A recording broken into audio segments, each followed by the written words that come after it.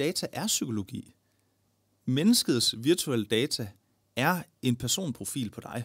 Mm. Det er dine præferencer, dine seksuelle præferencer, det er dine dybeste hemmeligheder, det er, din, øh, det er dine fritidsinteresser, det er din socioøkonomiske status, det er din whereabouts. Altså det er alt om dig som menneske. Velkommen til Cybersundhed, hvor teknologi møder mennesket.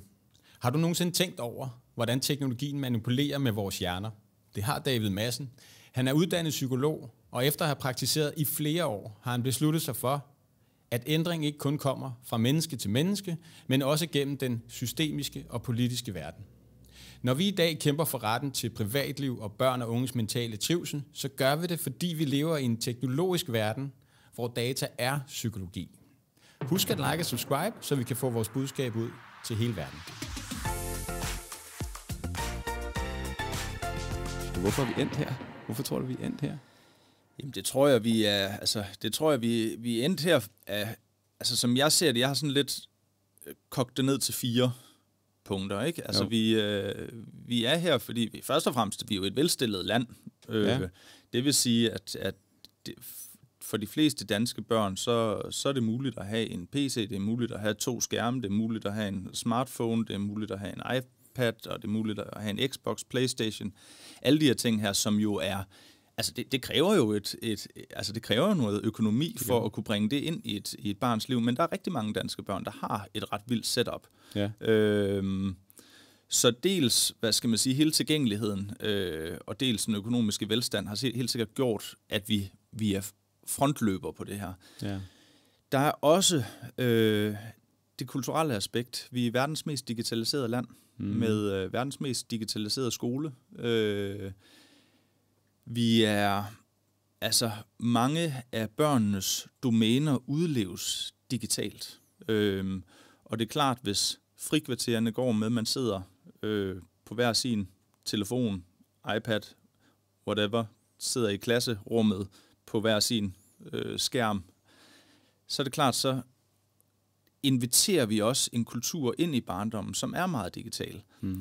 Og hvis erfaringen med at være sammen analog begynder at blive begrænset, så er det klart, så bliver det også svært at være, øh, hvad skal man sige, være analog, fordi altså, hey, analog samvær kræver også træning. Ja. Øhm, så hvis frikvarteret går med at være digitale hjemme, så er det klart, så den kultur bliver også i højere grad bragt ud, ud fra skolen, så lige pludselig så bliver samværet derhjemme også digitalt. Så der er helt sikkert en kulturel dimension i det her. Så i forhold til børnene, så er der jo altså også noget, der hedder neurobiologi.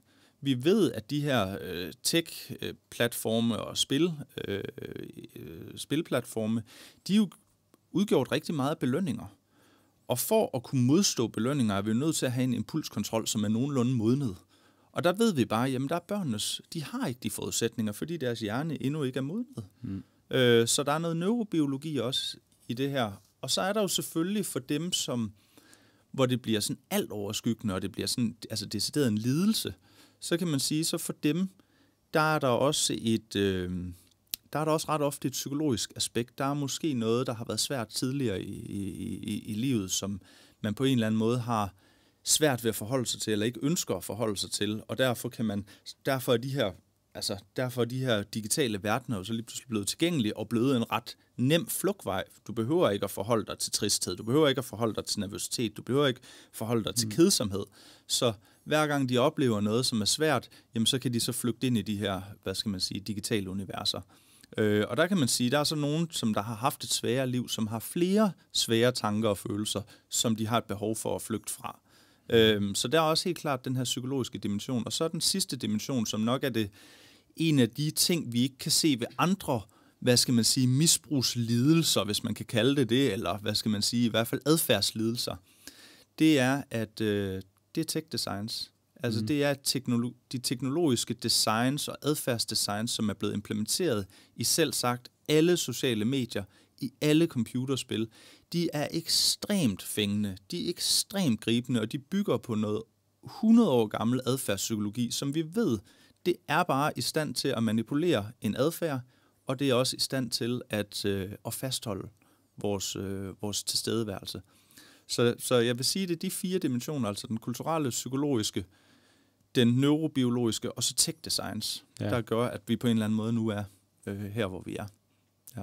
Det er alligevel også mange faktorer, der spiller ind der, ikke? Det er mange faktorer. Det er ikke et, øh, det er ikke, det er ikke et lille et lille problem, man kan tage med et snuptestløsning, fordi det er jo, det er, altså, hvis legepladsen er tom, er der ikke nogen, der gider at gå derud.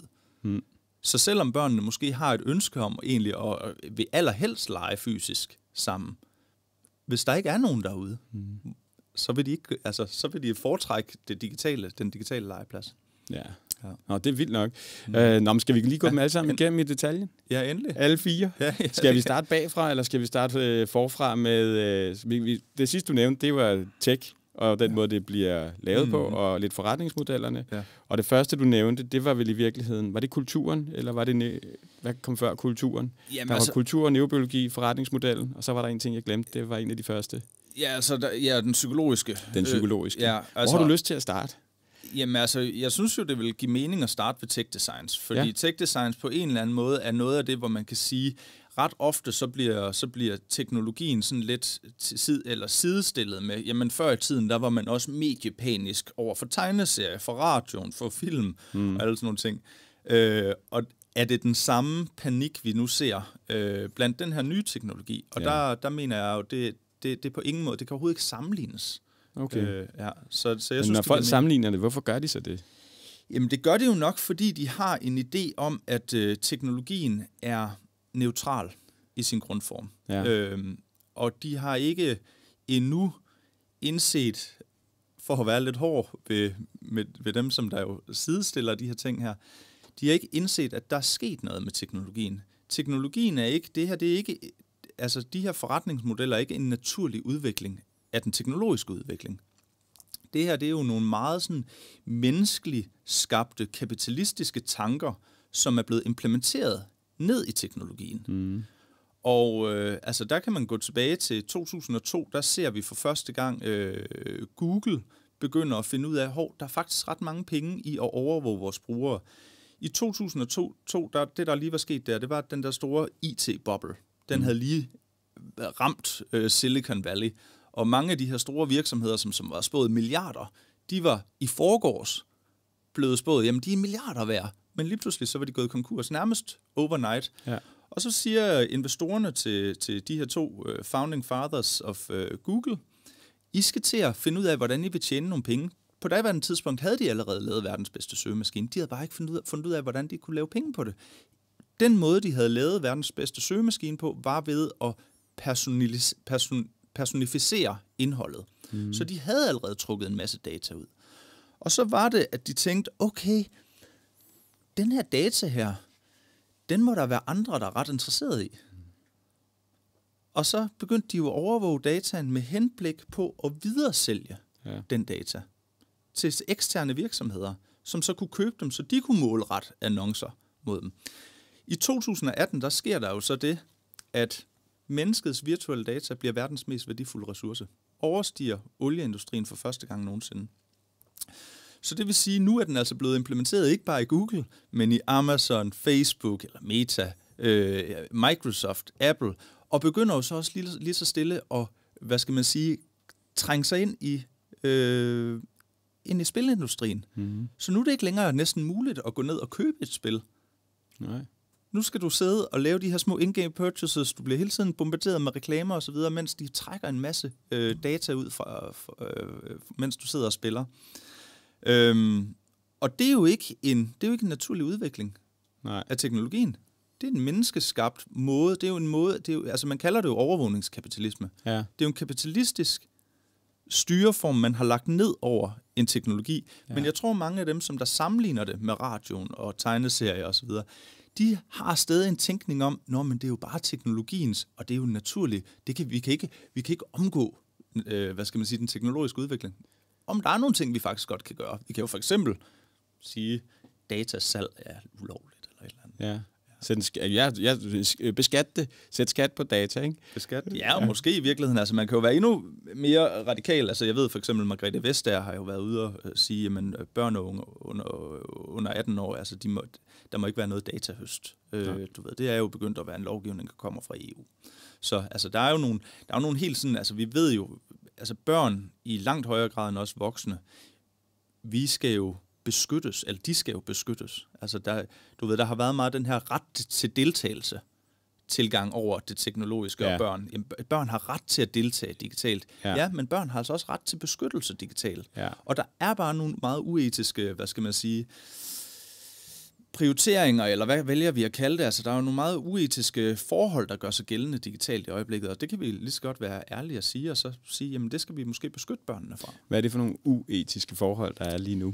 Jamen det er jo for eksempel at kapitalisere på, på børnenes tid og opmærksomhed. Altså så når vi ved, at børn og unges tid og opmærksomhed øh, bliver øh, gjort til øh, data, som så bliver handlet som sådan en eller anden råvare ude på et eller andet, en eller anden ureguleret øh, aktion, så er det jo, der er noget, u- altså, så er der noget etik her, som vi i hvert fald skal kigges på. Altså, Ja. Fordi man kan sige sådan helt lavpraktisk, barnet, du har sikkert hørt den, at hvis du ikke har købt produktet, så er du produktet. Ja. Det vil sige, den, den passer ikke engang. Du er det objekt, hvorfra der kan trækkes data. Det er dataen, der er produktet. Ja. Og det er dataen, der så bliver solgt på det her uregulerede marked. Så vi objektificerer børn Ja.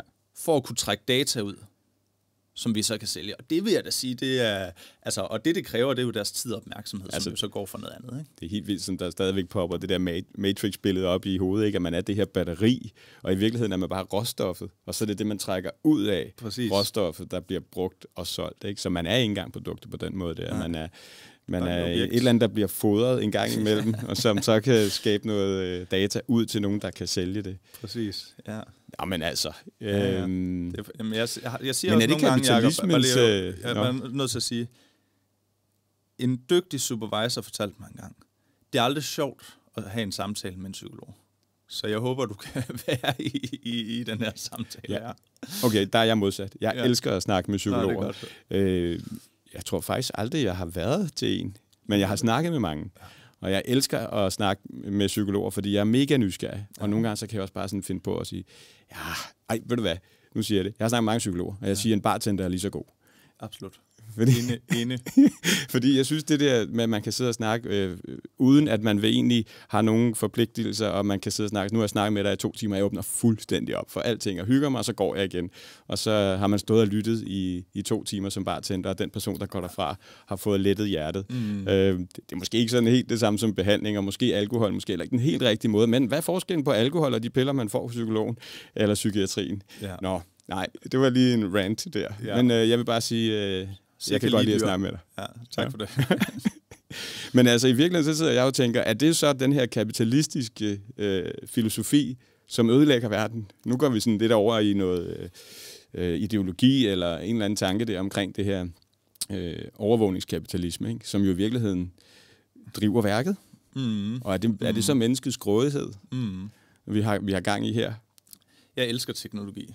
Altså, det er, jeg tror også, for at kunne øh, arbejde med det her, så er man nødt til at elske teknologi. Øh, altså vil man ikke have så stor interesse i at finde ud af, hvordan, hvordan det her det egentlig hænger sammen. Øhm, så jeg elsker teknologi.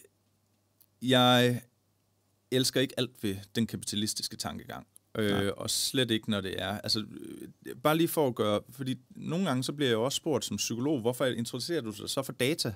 Men det er, fordi data er psykologi menneskets virtuelle data er en personprofil på dig. Mm. Det er dine præferencer, dine seksuelle præferencer, det er dine dybeste hemmeligheder, det er, din, øh, det er dine fritidsinteresser, det er din socioøkonomiske status, det er dine whereabouts.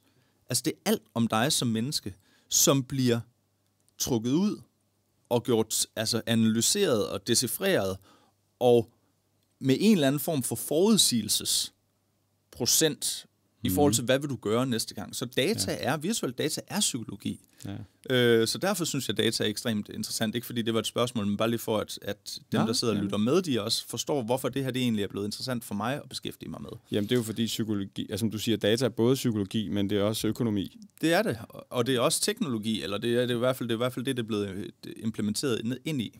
Ja. Ja. Men hvad var det, jeg snakkede med? Der var en, der sagde, at Facebook var det nye Freud. Mm. Jamen, øh, ja, absolut, absolut. De ved i hvert fald rigtig meget om os. Ja. Ja. Og det, øh, det er der sgu ikke sådan rigtig noget etik omkring, hvordan vi så skal håndtere. Nej. Det er der på papiret, men altså, vi prøver fra EU's side, ikke? Jo. Men er det der, hvor du så også er kommet frem til, apropos det, vi snakker om tidligere, nu skal der gøres noget, ikke? Altså, det er ikke nok bare at snakke med folk og stå i barn og hygge og få aflast på den måde og hjælpe folk øh, en til en. Mm. Man skal ud og lave noget en til mange, der ja. skal ud og, og gøre sådan noget der i den... Øh, i den Præcis, og nu er vi jo så over i sådan, hvad skal man sige, hele det, man kan sige, systemiske eller kulturelle. Mm. Altså, fordi hvad er, det så for nogle, hvad er det så for nogle områder, vi færdes i, hvor det her det i højere og højere grad er en meget, meget stor del af det. Og der kan man sige, jamen der er skolen, er jo et naturligt sted at, at tage fat. Det er, det er, det er frit, fritidsordninger, det er, det er efterskoler, det er, det, er, det er alle de her steder, hvor børn og unge de ligesom udlever deres barndom og ungdom. Øh, og netop snakke med dem om, inviterer vi i virkeligheden vores børn til et liv, hvor de analog, de fantastiske analog muligheder på en eller anden måde bliver negligeret, fordi at vi er gået med på lidt sådan en digital optimisme-tænkning, hvor, hvor alting er digitalt, og du ved, den, de, altså, nu uden at nævne navne, men jeg kan sige, at en af de større børneorganisationer, de har lige været ude med en stor forældrekampagne, øh, hvor de siger, jamen det er fordi forældre ikke forstår børnenes digitale liv. Fordi den digitale legeplads er den samme som den fysiske legeplads.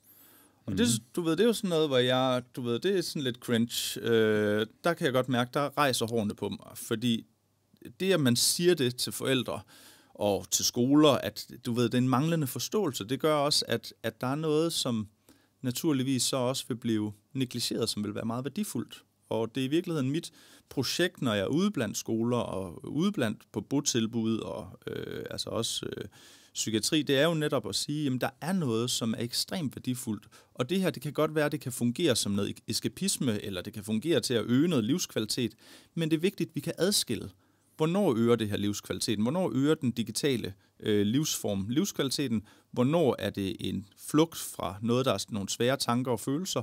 Og hvornår sidder vi der? Fordi tech-industrien i virkeligheden bare profiterer på, at vi sidder der og bruger vores tid og energi og opmærksomhed der. Så det har i virkeligheden, altså når du siger det her, så er det jo noget med kulturen og de ord, vi bruger, og den, den måde det så bliver, den historie, der bliver fortalt. Nu siger du, der er nogen, jeg, kan, jeg ved ikke, hvem det er, der har været ude at lave en undersøgelse omkring, at den fysiske legeplads er nu blevet en digitale legeplads, så øh, det, der får dig til, at øh, øh, hårene rejser sig på ryggen, er, at de siger, men det skal vi ikke være bekymrede for, fordi mm. det er den samme legeplads, der ja. er der.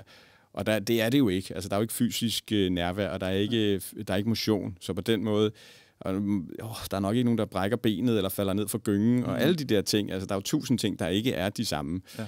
Øhm, så det er meget det der med, hvorfor fortæller, hvorfor fortæller man den historie? Er det, fordi vi gerne vil være nummer et i digitalisering, eller altså, er der sådan en...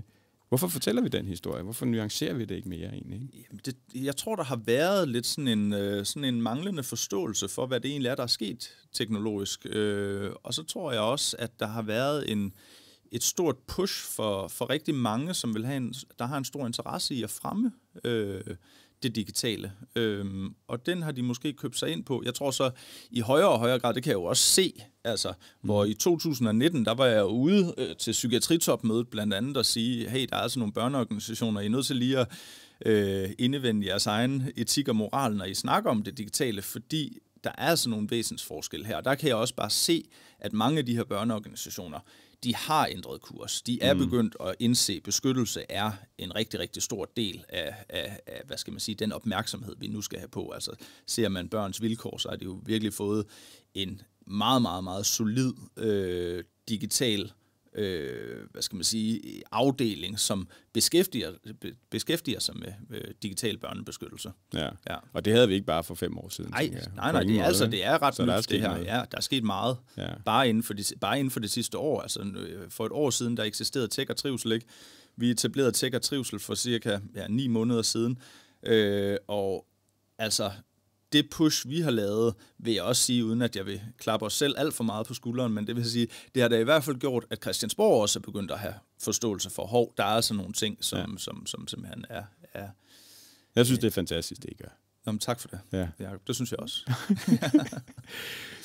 det, jeg godt ville, ville sige, det var, at vi snakkede om, at nu var det kommet ind i... Øh, man kan sige, der var, der var kommet mere opmærksomhed på det inden for de sidste fem år, inden for de sidste to år, som vi sidder og snakker om nu. Der er kommet nogle nye begreber, der er noget kultur, der er nogle ord, der bliver sat på det, og man laver også noget fra, fra centralt hold, fra EU, og øh, er der ikke også noget med WHO, går ud også ud og laver nogle anbefalinger. Så på en eller anden måde, så er vi jo i øh, i, en, i en verden, hvor at måske GDPR begynder at slå igennem i forhold til børns vilkår, hvis man kan sige det sådan. Der kommer noget etik ind i børns mm. vilkår, så der kommer noget bedre lovgivning på det inden for EU-sider.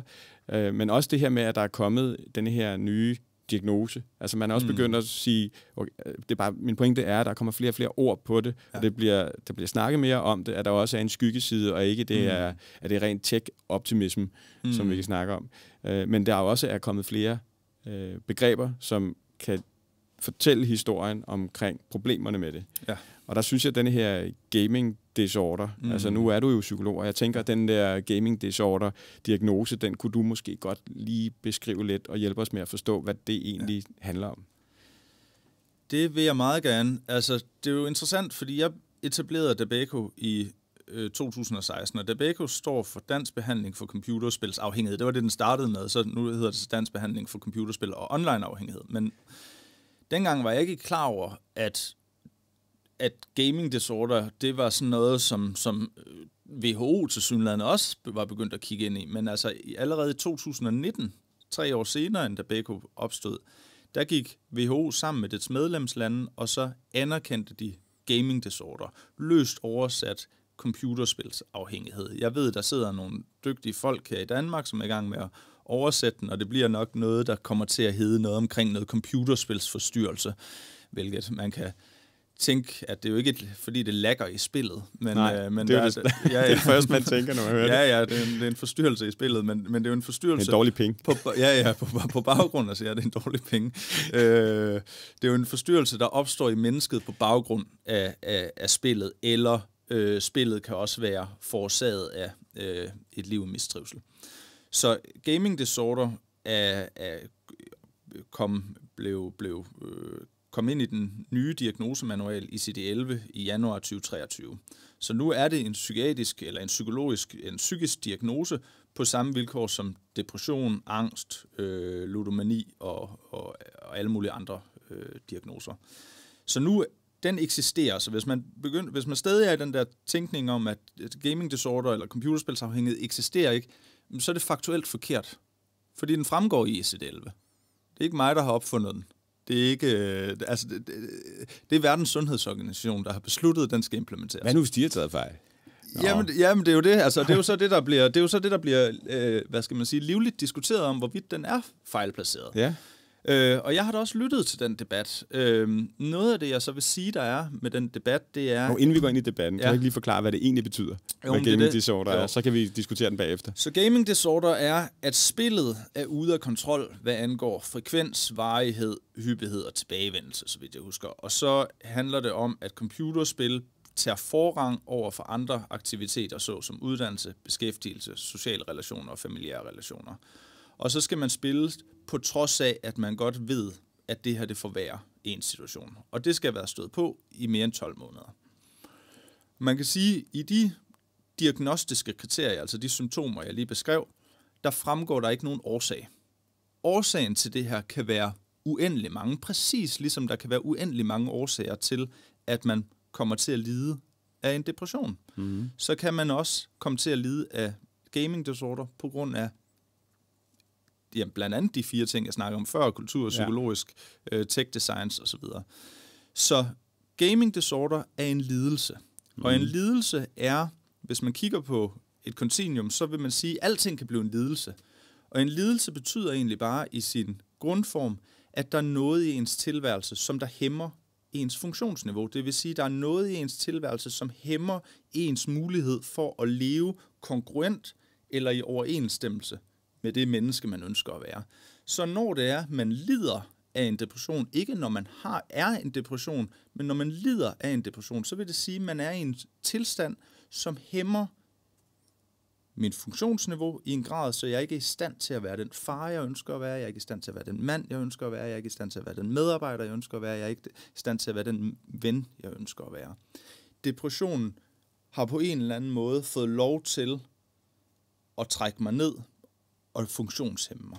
Ja. På samme måde kan man sige, gaming kan blive en lidelsesfuld tilstand, hvor gamingen i sig selv bliver, hvad skal man sige, funktionshæmmende. Det bliver, man er ude af stand til at leve det liv, vi reelt set ønsker at leve. Mm. Og på den måde adskiller øh, hvad skal man sige, en psykisk diagnose så også for en somatisk diagnose. Fordi for eksempel en somatisk diagnose, lad os tage sådan noget som lungekancer. Mm. Så kan man sige, jamen der vil man kunne finde en årsag. Lungekancer, du har rådet i 40 år. Ja. Lungecanceren er formentlig skyldes, ikke formentlig, skyldes med 100% 40 års rygning. Ja. Det kan du ikke med en psykisk diagnose. Så nogle gange, så det der sker, og det er jo så der, hvor ja. vi kommer lidt tilbage til debatten, det er, at mange prøver at sige, vi vil ikke sygeliggøre gaming. Vi vil mm. ikke sygeliggøre en generation. Men allerede det, at man siger, vi vil ikke sygeliggøre en generation, så har man lidt misforstået, hvad det egentlig vil sige. Man anerkender bare, at for en generation, så er der nogen, for hvem gaming bliver lidelsesfuld, bliver hæmmende for den unge mand eller pige, som de ønsker at være. Øh, det er sjovt, du siger det der med i det øjeblik, man siger, at man ikke vil sygeliggøre det, ja. at man rent faktisk gør det. Det er jo det, det er jo det, så det bliver sådan, det bliver, øh, det bliver kontraproduktivt. Ja. Øh, det er jo sådan, men det er jo en, en klassisk en. Grunden til, at det her det ret ofte opstår, den her misforståelse af, hvad en psykisk diagnose er, det er fordi, at i Danmark, øh, særligt måske, der er det jo psykiatrien, der, øh, der varetager, hvad skal man sige, de, de, de diagnoserne. Mm. Og psykiatrien kommer jo fra den medicinske kultur, og derfor naturvidenskabelig i sin grundform. Ja. Og de vil ret ofte vurdere en psykisk diagnose som værende en fejlkemisk øh, ubalance i hjernen, som ret ofte kan øh, helbredes øh, med noget medicin. Eller en kold øl, som jeg snakker Eller om Eller en kølig øl, ikke? øh, men hvor jeg vil sige, jamen den måde, som vi for eksempel beskæftiger os med computerspilsafhængighed, det er ikke med det hvide snit eller, eller, eller medicin. Nej, tværtimod, vores, altså det vi har erfaret fungerer allerbedst, det er i virkeligheden eksponering for sunde, meningsfulde, analog aktiviteter med de mennesker, som betyder noget. Og hjælpe dem til at kunne være i det, som er svært, længe nok til at gøre det, der har en betydning. Ja. Så det er ikke noget med medicin, det er bare psykiatrien, som på en eller anden måde nogle gange kommer til at beslaglægge lidt diagnoserne. Men i udgangspunktet, en psykisk diagnose fortæller bare noget om en lidelse og aldrig årsagsforklarende. Mm. Så man kan sige, at en psykisk diagnose er objektiv og fænomenologisk og beskriver nogle symptomer, man ja. kan have. Ja. Og hvis man opfylder de symptomer, altså hvis gaming er ude af kontrol, hvad angår frekvens, hvis gaming står i vejen for øh, beskæftigelse, øh, uddannelse eller, eller, eller sundhed. familiær, eller sundhed, mm. og man spiller, selvom man godt ved, at det her det for hver institution, jamen så kan du faktisk få diagnosen, fordi så er der nogen, der har sagt, der, det er faktisk blevet lidelsesfuldt for dig. Ja. Og så må man jo så finde ud af, hvad den bedste er. Det er jo den gode behandler, der må finde ud af det. Hvad er den gode, hvad er den gode medicin mod det? Ja. Og det behøver ikke at være medicin. Nej. Tværtimod. Tak. Ja. Det vil jeg gerne stå inden for. Måske kunne det være et koldt glas ja. vand. Ja, ja lad os øh, skål på den. Skål på den. Hvorfor er det sådan, bliver diskuteret om, hvorvidt den er reel eller ej, den her øh, gaming disorder? Ved du det? Altså, jeg tror det er fordi, at, altså, som jeg sagde, der har jo været meget kritik om, at kommer vi til at sygeliggøre en generation af, af børn og unge, fordi de godt kan lide at spille computerspil, men, men altså, det gør vi ikke. Øh, det vil være det samme at sige, at vi kan ikke snakke om alkoholisme, fordi så kommer vi til at sygeliggøre. Man kan jo sagtens øh, have et fint og fornuftigt og balanceret og sjovt, altså hvor alkohol bliver brugt til at øge livskvaliteten, hvis man går ud fredag aften med vennerne. Ja. Men for nogen så bliver det bare mandag, tirsdag, onsdag, torsdag, fredag, lørdag, søndag. Ja. Og det kommer til at stå i vejen for beskæftigelse, det står i vejen for ens, øh, den, de relationer, man ønsker at have til familie og, og, og venner. Og for dem, der har de brug for hjælp til at komme ud af deres, enten deres alkoholmisbrug, men i det her tilfælde, jamen så er der nogen, for hvem at gaming det, bliver ud, det kommer ud af kontrol, og de har brug for hjælp til at finde en eller anden form for retning i deres tilværelse. Ja. Ja. Jeg synes nogle gange, når man snakker om diagnoser og lidelser, at man får den der fornemmelse af, at det er en lettelse for folk. At de ligesom får sat et eller andet ord på, de får ja. sagt, jamen, okay, der er noget her. Ja. Øh, jeg har identificeret, at der er noget galt. Hvad kan jeg gøre?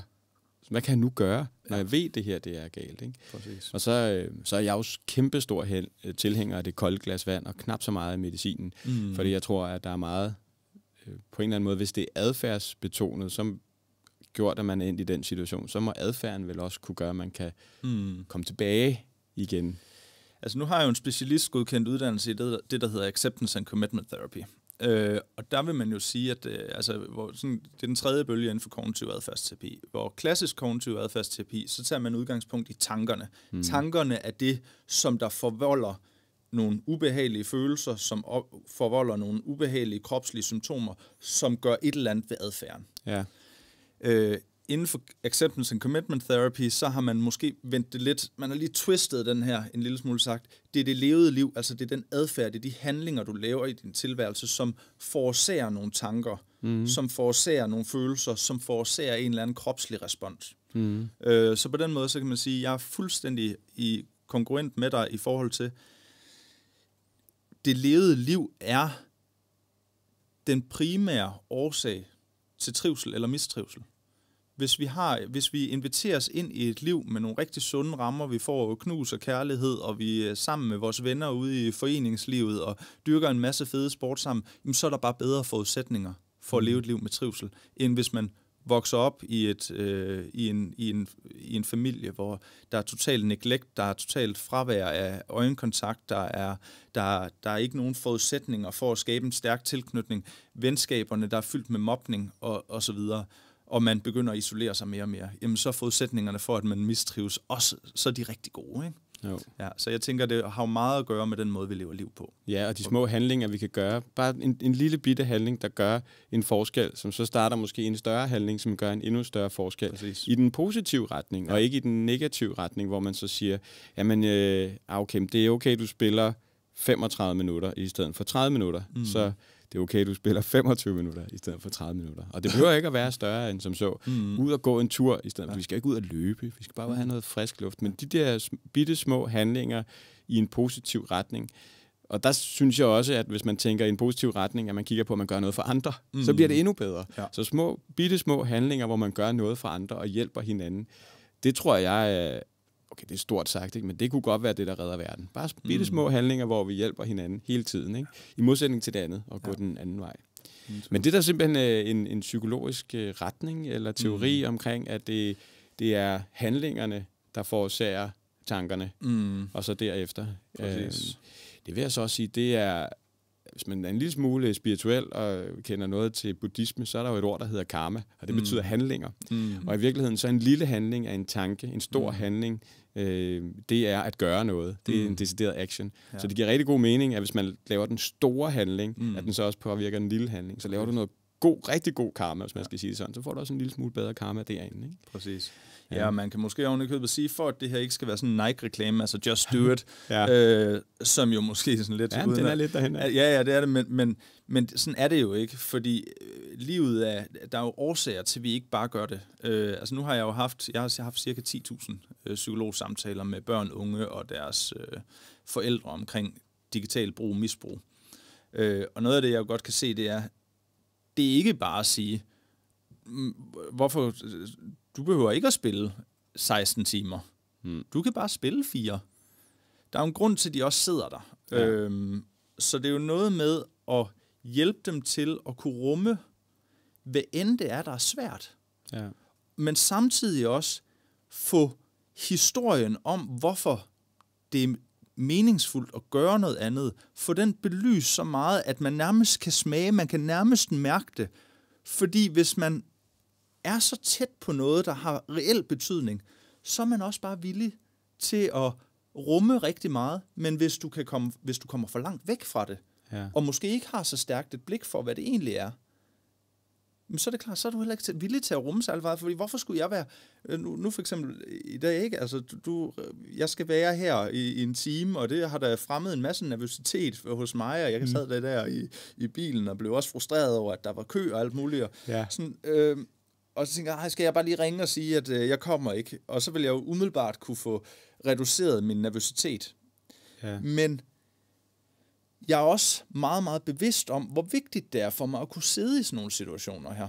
Så jeg var villig til at rumme min nervøsitet. Ja. Længe nok til at komme herhen og sætte mig ned. Du ved, og du, vi havde en behagelig samtale, før vi gik i gang med det her. Og, du ved, og, og langsomt så erfarer jeg jo, jamen det er faktisk mere betydningsfuldt for mig at kunne være til stede her, end det er for mig at kunne undgå at være i det, som var svært. Ja. Og nogle gange så er det jo netop at hjælpe dem til at rumme det, der er rigtig svært, men også give dem et slags blik for det, der virkelig betyder noget, og få dem til at virkelig at få sådan kontakt til det, så det bliver helt tydeligt. Det her, der er jeg virkelig villig til at gå igennem, hvad end det er, der skal til. Ja. Af tristhed, af nervøsitet, fordi det her, det faktisk er det liv, jeg virkelig ønsker for mig selv. Ja. Ja. Altså det der, det kan jeg måske koge ned til et barn, der er nervøs for at komme afsted i svømmehallen for første gang.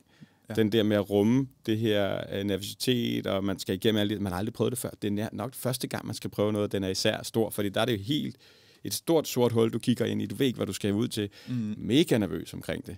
Men så når du kommer om på den anden side, og har været i svømmehallen i øh, mm. 6 timer og kommer hjem, og du er dødtræt og har haft det mega skægt, så har ja. det været den lille nervøsitet, eller måske har det været en stor nervøsitet, Ja, ja, men glæden har været det større, ikke? Præcis. Men ja. hvis du aldrig har fået kontakt til den glæde, så kan det være svært at sige, "Men jeg vil godt, jeg vil, jeg vil acceptere præmissen om, at jeg skal rumme den her nervøsitet. Ja. Og det der, det der, altså så nu er vi igen tilbage ved det digitale, fordi det digitale på mange måder er jo tilgængeligt non-stop. Ja. Og hver gang du kommer i kontakt med noget, som er ubehageligt, så kan du forsvinde fra det. Ja. På et instant. Ja.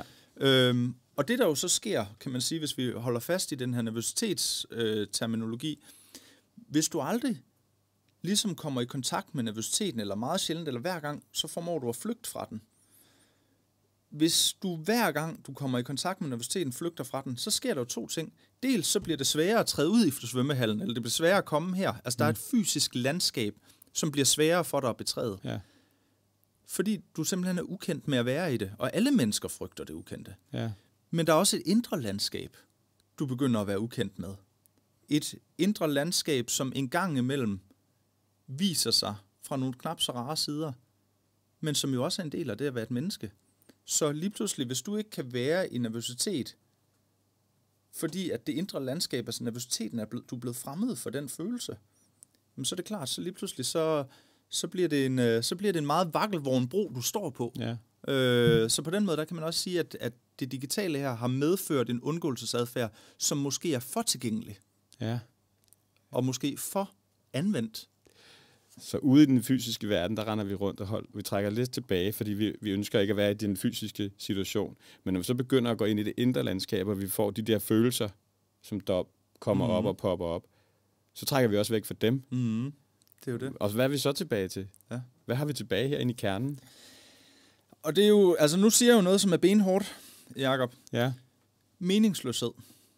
ja, Hvis du aldrig er i kontakt med dine følelser, du aldrig er i kontakt med din, hvad skal man sige, med det, der betyder noget. For din nervøsitet, lad os bare tage det. Hvis jeg ikke var nervøs for at komme her, så ville det være, fordi der ikke var noget på spil for mig. ja, Hvis du ikke var nervøs for at komme i svømmehallen, eller din, dit, den her unge fyr Ja. ikke var, eller pige ikke var nervøs for at komme i svømmehallen, så var det, fordi der ikke var vigtigt. ja, Så nervøsitet fortæller også noget om, at der virkelig er noget på spil for folk. ja, Så hvis du hver gang undgår at være der, hvor der er noget på spil for en, altså der, hvor der er noget vigtigt, jamen, i manglen på vigtige og meningsfulde aktiviteter, på, lige på den anden side, der står meningsløsheden. ja, Og det er jo der, hvor jeg nogle gange så får dem... Altså, jeg plejer jo egentlig at sige, når det er, jeg får nogen i terapi, som siger, jeg har alle de her problemer her, jeg synes, det her det er for- forfærdeligt, det er frygteligt, det, jeg kan ikke øh, være med de, de her mennesker osv., så tænker jeg, fedt. Fordi der fortæller rigtig meget om, der er sindssygt mange ting, der stadig er vigtige for dig. ja, Jeg er begynder nogle gange at frygte, fordi jeg kan mærke, der er en, der er en større tendens til at sige, det er faktisk ligegyldigt. Jeg er ikke motiveret. Det er meningsløst. ja, Og det skyldes jo, at man måske har været for fraværende mm. for ens, hvad skal man sige, tanker og følelser i, Ja. i alt, alt for lang tid. Øh, og så gælder det jo netop om, hvis meningsløsheden, den er begyndt at blive, øh, få, altså begyndt virkelig at tage fat, så gælder det jo om at hjælpe de mennesker med at få kontakt til noget, som er meningsfuldt. Og det kan man jo gøre dels ved for eksempel at tage dem ud i naturen, tage dem ned og, og i, i noget foreningsidræt, øh, hvor de får, mærker, hvor fedt det egentlig er at få en krammer af et andet menneske, når man scorer i fodbold. Og man kan også gøre det, som jeg jo så gør, tale ind i det. ja, Tal ind i, hvad der reelt set betyder noget, så de begynder at få kontakt til det, så det ikke er meningsløst. ja.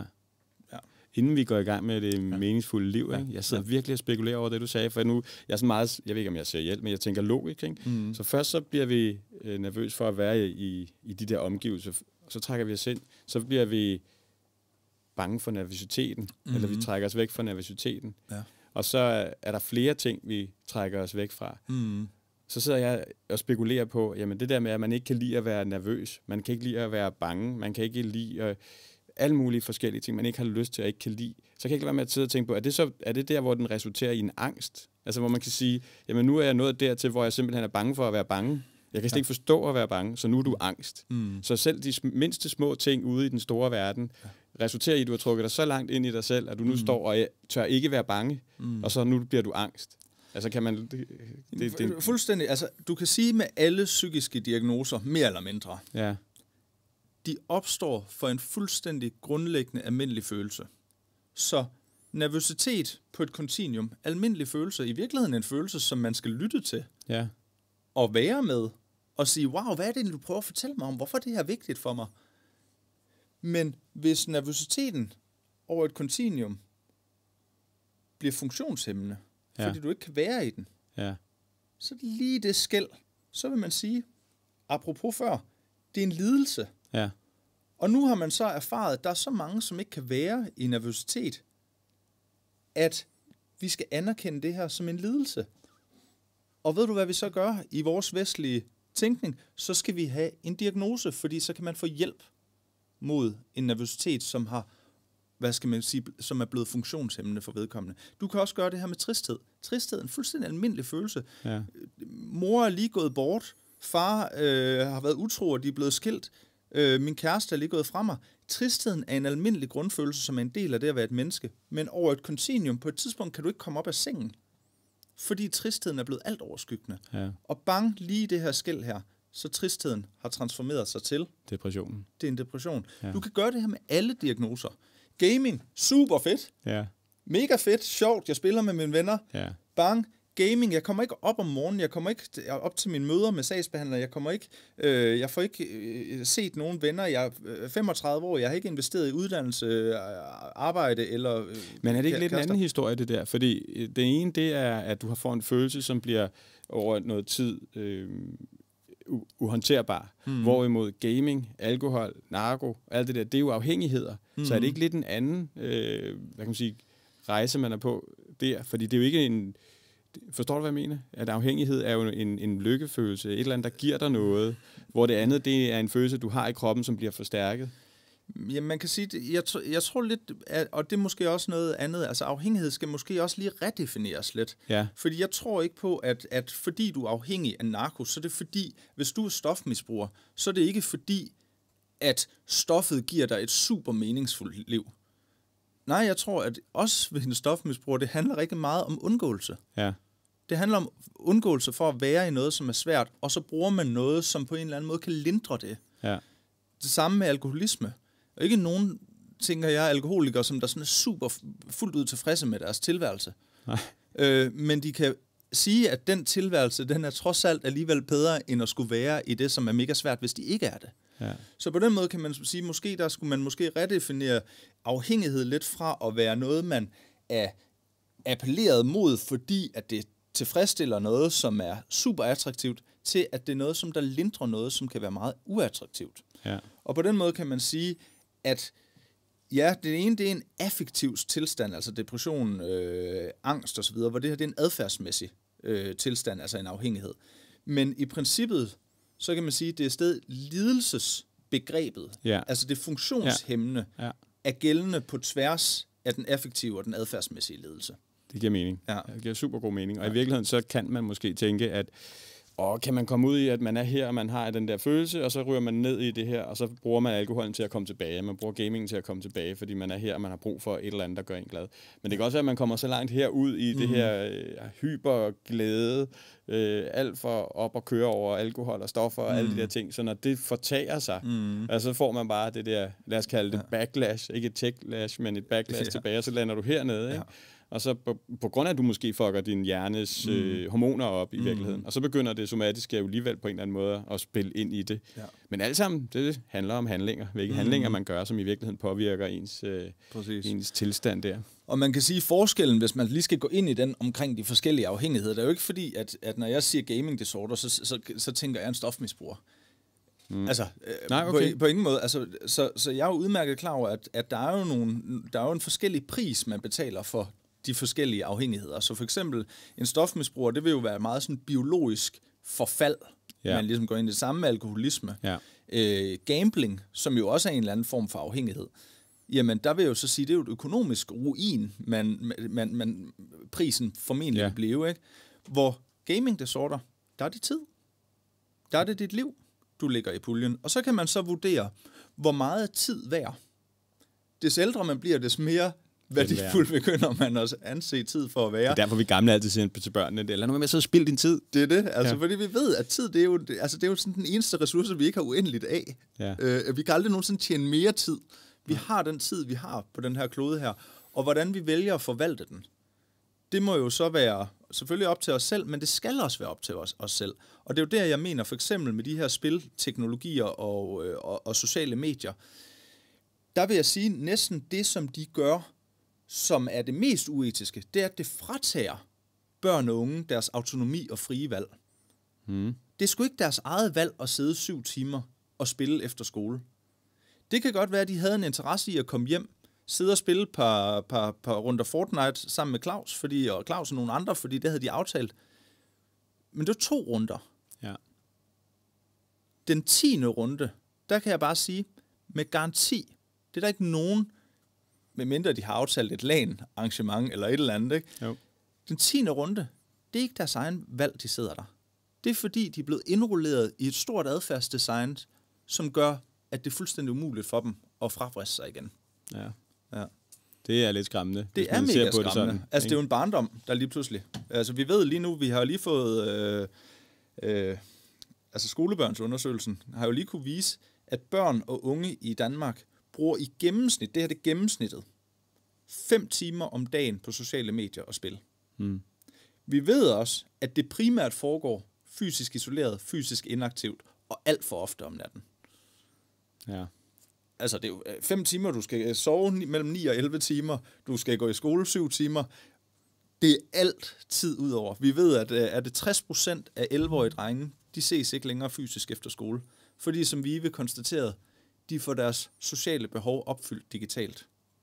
Og det er du ikke helt enig i. Det kan man ikke. Du kan ikke få din sociale... Altså, det, det, det, det, Det er fysisk umuligt. det er fysisk, ja, det er fysisk umuligt. Du kan ikke få din sociale... Fordi der er en grund til, at vi ikke bare lige tager den her over en, øh, over en, øh, en, En Zoom Teams- eller ja, et et eller andet. Zoom Ja, ja. møde. Altså, det kan noget. Vi ved også fra, fra Aarhus øh, Universitets forskning, når vi sætter os i et rum, for eksempel lige nu, så går der fire minutter, så er vores fedproduktion øh, synkroniseret, og vores hjerterytme øh, rytme Ja.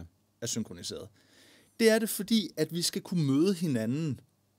Øh, jeg tror, var det Morten Østergaard, der sagde det på et tidspunkt under corona.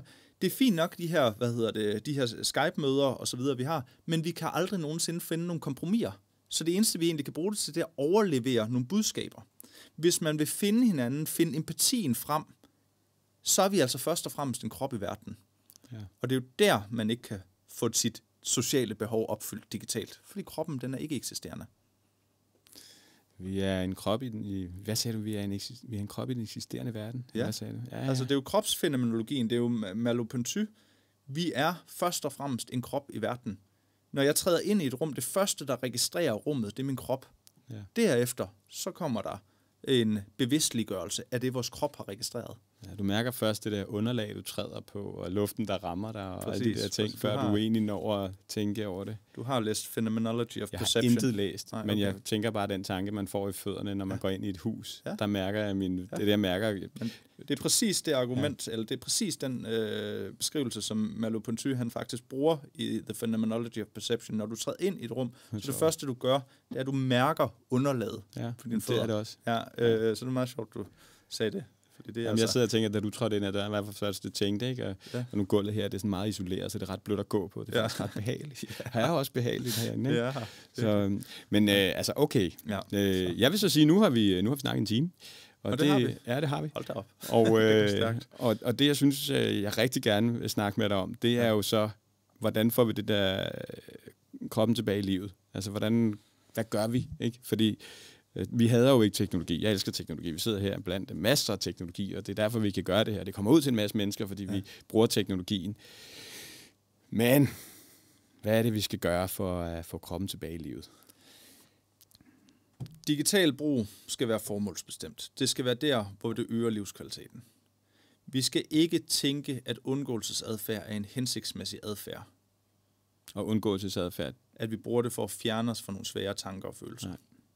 Fordi meget hurtigt, så bliver vi indrulleret i de her tech-design, som fastholder os i meget længere tid, end vi egentlig havde brug for. Det er genialt ikke at køre på folks svagheder, ikke? Det er fuldstændig sindssygt. Ja. ja. Så vi skal bruge det, være formålsbestemte, når vi bruger teknologien. Jeg, for eksempel personligt, jeg har en dumbphone privat. Jeg er top of the line. Jeg elsker teknologi. Jeg, jeg er måske en af de mest tech øh, største nørder.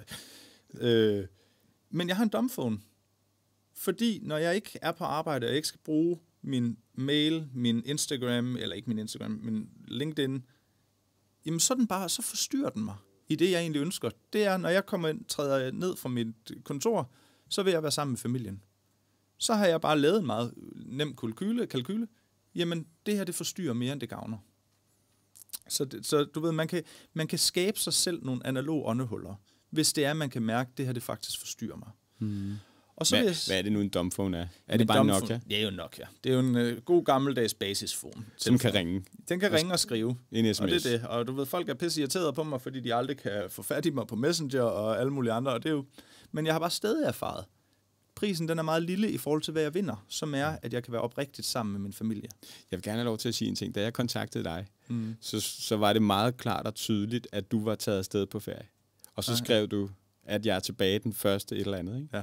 Og den første klokken 9 eller 9.30, der skriver du tilbage til mig. Der er helt stille indtil ja. da. Og der sidder jeg og tænker, der er et eller andet der, ja. som du har gjort, hvor det er, du på ingen måde bare lige svarer, eller lige skriver, eller et eller andet. Mm. Fordi det er så præcist, at det er på den dato, hvor du siger, du er tilbage, at du svarer og siger, vi, vi skal mødes og snakke.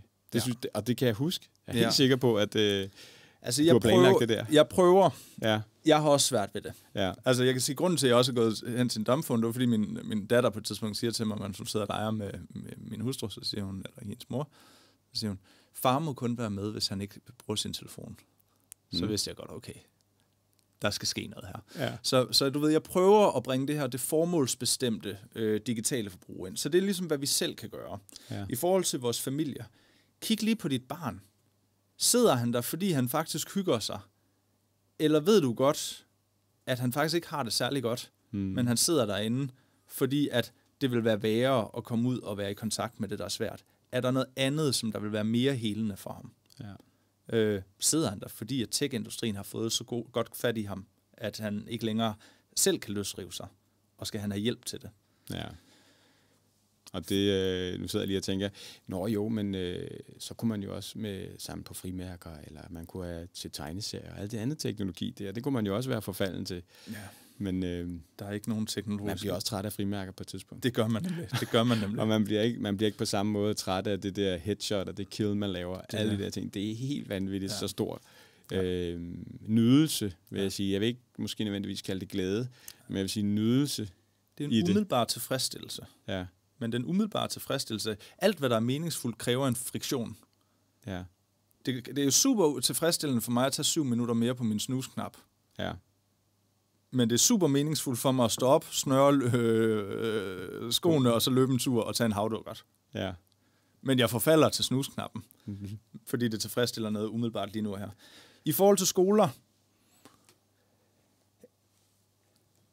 er der en dannelsesmæssig, trivselsmæssig eller læringsmæssig årsag til brug af digitale medier? By any mean, brug det. Ja. Men står det i vejen for, at jeres skolegård er fyldt med liv, så kan det godt være, at I skal sige, at der er mobilfrihed. Og læg mærke til, at jeg siger ikke mobilforbud, jeg siger mobilfrihed, fordi jeg mener, at det her det er en frihed til livet, ja. hvis man skaber nogle restriktioner. Øh, politisk, wake up. Vi har gang i noget her, som, øh, som, som ikke er godt for nogen, og der er altså noget, vi kan lovgive mod. Og det er blandt andet den her fuldstændig vilde kapitalisering af vores tid og opmærksomhed. Det er mm. vi nødt til at finde nogle veje og komme udenom. Ja. Det vil være min, uh, min go-home messages. Det er helt fantastisk go home message. Jeg har næsten lige lyst til at sige, uh, stille det sidste spørgsmål her. Ja. Tror du, at vores uh, trivselskrise og alle de her børn og unge, der er ramt af depression og angst osv., er forårsaget, er, er årsagen uh, teknologien, som vi har den i dag? Jeg tror, at årsagen til vores trivselskrise ligger i et fravær af fysisk aktivitet. Vi ved, at under 26 procent af unge mellem 11 og 15 år, de lever op til Sundhedsstyrelsens anbefalinger for fysisk aktivitet. Det er blot en time om dagen. Vi ved, det er under 13 procent ifølge Institut for Folkesundhed, som der ses med hinanden regelmæssigt efter skole. Vi ved, at børn og unges søvn er reduceret med 1-2 timer hver nat, og præget af langt dårligere kvalitet med langt flere opvågninger. I fraværet af det opstår mistrivselen. Jeg tror på, at det fravær, det er en direkte følge af teknologien, som har kabret vores tid og opmærksomhed. Så i andet led, ja, jeg tror, at teknologien er, spiller en meget større rolle i forhold til den trivselskrise, end vi egentlig lige går og, og forestiller os, fordi den forårsager et fravær af meget meningsfuldt liv. Sådan. Men det gode er, at vi kan jo altid ligge os ned og sove, og vi kan løbe en tur, og vi kan være sammen med vennerne. It's, it's pretty obvious. Du har dit liv her. Det her, det, det er broen. Mm. Den kan holde til x antal biler. På et tidspunkt brænder den sammen. Men broen står jo heldigvis på nogle bropiller. Søvn, fysisk aktivitet, fysisk samvær, tæt øh, kontakt med mor og far, tæt kontakt med læger, øh, stærkt foreningsliv, masser af naturoplevelser, står jo på nogle søjler. Hvis de her de begynder at blive taget væk, som er det, der vi ser, så er det klart, så får vi en meget, meget ustabil bro. Men begynder man at genetablere dem, så vil man igen bygge en stærk bro. Sådan. Ja. Hvis tak. man skulle lave det metafor. Det skulle man. tak, David. Det, det har været en kæmpe fornøjelse at have dig. Hej derude.